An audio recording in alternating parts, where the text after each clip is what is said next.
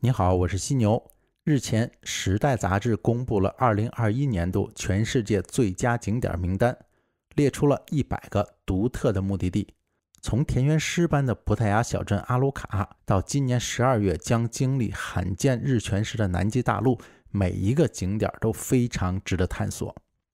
在《时代》杂志今年公布的新名单中，北京、雅典、曼谷、柏林、戛纳、基督城。迪拜、黄金海岸、夏威夷、丽江、洛杉矶、马德里、新奥尔良、纽约、奥兰多、大阪、巴黎、费城、西雅图、西西里、悉尼、台北、东京、苏黎世等等，都是比较经典的存在，是无可置疑的顶级景点。但是也有一些不为人知的隐藏景点，比如说葡萄牙的阿罗卡和英科布拉、英国的巴斯和伦敦设计区、以色列的内盖夫沙漠。莫桑比克的本盖鲁阿岛和奇马奇马尼国家公园，马来西亚的迪沙鲁海岸，丹麦的法罗群岛，韩国的庆州，越南的河内和胡志明，日本的北海道，印度的斋普尔，泰国的考爱国家公园，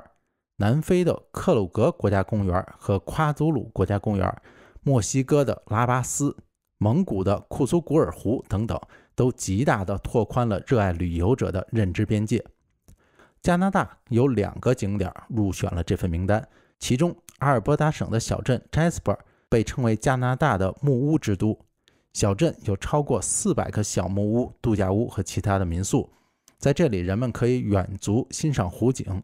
当地的 Whistler Campground 是加拿大国家公园中最大的露营地。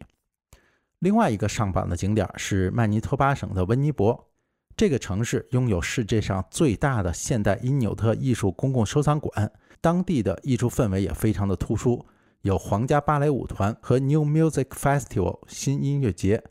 欢迎大家来加拿大探索不一样的世界。